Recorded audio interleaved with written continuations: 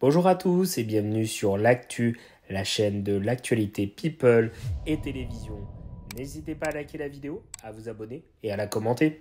La soirée carte blanche est un moment très important pour tous les élèves.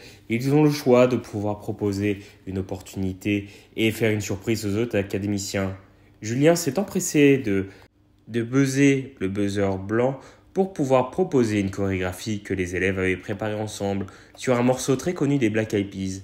Un moment d'une chorégraphie très impressionnante qui a complètement bluffé Malika qui souhaitait leur remettre le titre de meilleur danseur ce soir.